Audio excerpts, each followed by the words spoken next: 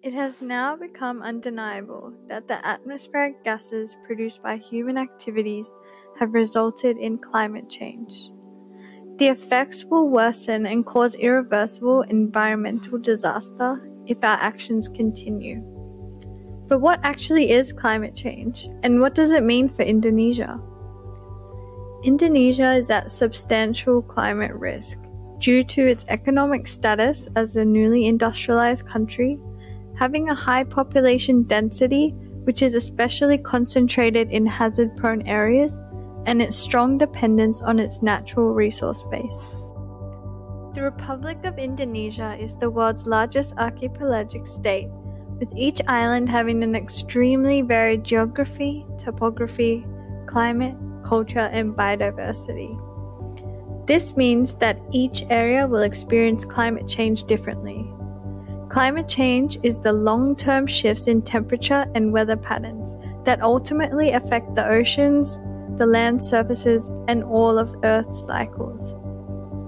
As increasing temperatures melt the Arctic ice, the sea levels will rise and cause a permanent flooding of low lying areas and more common and severe storm surges. With 60% of Indonesians living in coastal areas, these hazardous weather events have the potential to displace up to 4.2 million people. Areas in the northwest of Indonesia, like Sumatra and Kalimantan, will likely experience an increase in the amount and severity of rainfall events. This can cause flooding, landslides, and cyclones, and can also bring about the expansion of waterborne and mosquito borne diseases. Other areas in the south, such as Java, Bali, and Nusa Tenggara, could experience extreme heat and prolonged drought events. The intensity of these hazards is expected to grow as the climate changes and could affect the regional and local levels very differently.